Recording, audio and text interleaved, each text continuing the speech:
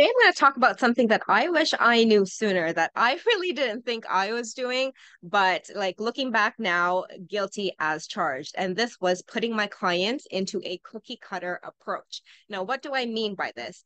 Even though inside my traditional hypnosis training, we were told that your sessions are going to be bespoke for your particular client in terms of the recordings that we give them afterwards. And I believe this a lot. And I still do believe some parts of it that it was bespoke. But at the same time, what we were taught was that, okay, so someone comes in with money blocks, and this is the script that you know the the skeleton script that we would use or someone doesn't feel good enough so this is the skeleton script that we would use or someone doesn't feel uh, lovable uh, that this is the skeleton script that we use and then um, it is up to us to personalize it for each client. And we did that. And a lot of the times it is true that it becomes bespoke because we use their words, we use their vision, we use the things that they said in their intake form um, with them imagining their life without the problem. And yes, that could be bespoke, but at the same time, it went against the main principles that by using scripts, we are putting our clients in a box by using the same things or saying the the same affirmations within our recordings and saying you are good enough. You'll always be good enough.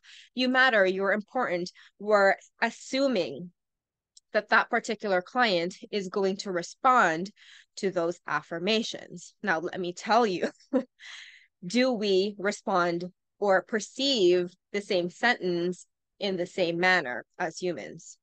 We don't right? You know those things where it's like a um you you see a picture but there's actually two different pictures. It's either like an old woman or a young woman depending on your perception.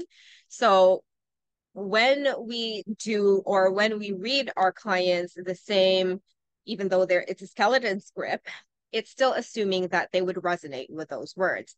And also to be honest with you i never i actually still don't and never have resonated with the affirmation i am enough. Like it like i i can say that I am enough and it doesn't do anything to me at all. It doesn't resonate with me. I don't understand it. It doesn't hit me right in the feels. It, it, it just doesn't. Um, and so when other colleagues have given me those recordings, it actually wouldn't make me feel any better. It, it, it was just the same. There was there was no effect at all, um, just because personally that didn't resonate. And so when we do this, when we even though we personalize whatever our our recordings towards the client or our particular client there are times that if we use a generalized script that it, will it'll be his, hit and miss results right? That it's just throwing spaghetti on the wall seeing what sticks with them. Because truth of the matter is what will stick with a client is not going to be found in a 10 to 15 minute long uh, meditation recording what will resonate with our clients is the things that they tell us within our sessions. When we're investigating our client's problem, they tell us exactly what they need to hear. And if we gain that skill of knowing how to use utilize the information that they give us, what information is utilizable. Don't know if that's a word, but it is now um, if we know what to use utilize and how to use utilize our clients' own words, then that just becomes a more powerful transformation. That is what makes our sessions really tailored and client centered.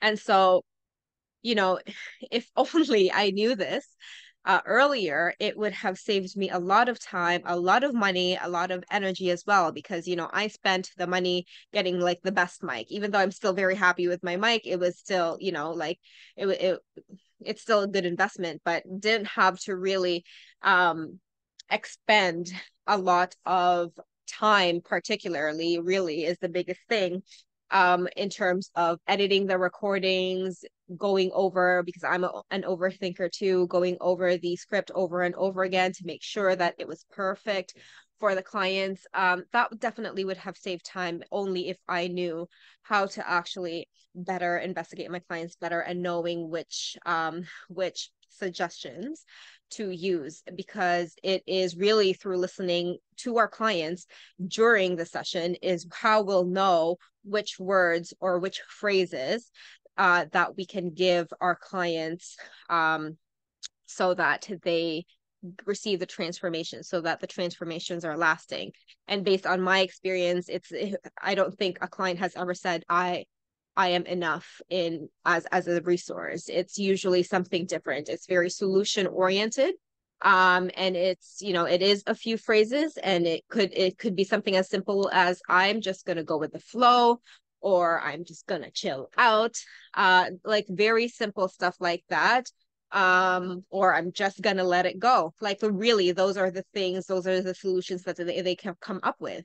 And we don't need to repeat that 10 times 100 times in a recording especially if it comes within our clients. Because if it comes from from the unconscious it's already something that uh, will work for them because it the solution came internally no need to repeat it right and so I hope that made sense. I hope that this got you thinking uh, because it really is a pleasure to no longer um, have to do those damn recordings because you know I dreaded them and some of my clients didn't even listen to it. so um, it was a waste of time on my part and it had it wasn't for my personal results. It was not really the reason why my clients got the results. My clients got the results because of the investigation phase not the recordings.